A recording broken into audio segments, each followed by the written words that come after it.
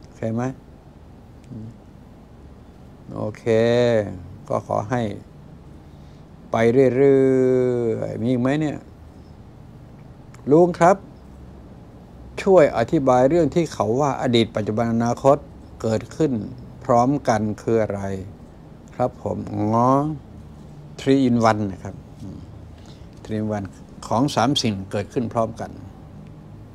ในร่างกายเราก็หัวใจปอดกับสมองนั่นนะครับในด้านฝั่งวิทยาศาสตร์ก็คืออนุภาคนั่นเองครับ อิเล็กตรอนโปรตอนนิวตรอนนั่นนะนั่นนะเกิดขึ้นพร้อมกัน อดีตปัจจุบันอนาคตมันเป็นเพียงแค่ภาษานะครับถ้าพูดเป็นคำมันคือสามจุด พูดคำเดียวเข้าใจทั้งหมดมันไม่ได้ แต่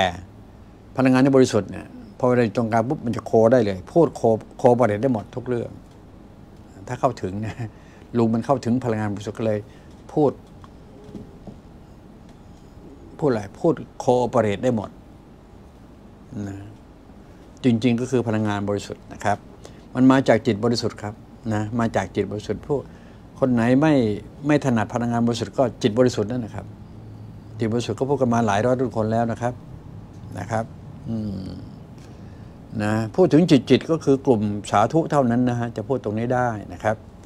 กลุ่มอื่นทางด้านความเชื่อศาสนาก็ดูมันจะไม่มีนะครับ เพราะฉะนั้นกลุ่มที่ศาสนาอื่นก็กลับตัวกลับใจมาเป็นมนุษย์ซะมารู้จักคำว่ากายใจจิตตามแนวทางของพุทธศาสนา ผมว่ามันมันมีประโยชน์มากกว่าเยอะเลยนะครับ ความเชื่อไว้ห่างๆหน่อยตอนนี้ เดี๋ยวติดตัวนะ ลุงไม่เอาความเชื่อติดตัวนะให้รู้ลุงเอาแต่ความเข้าใจ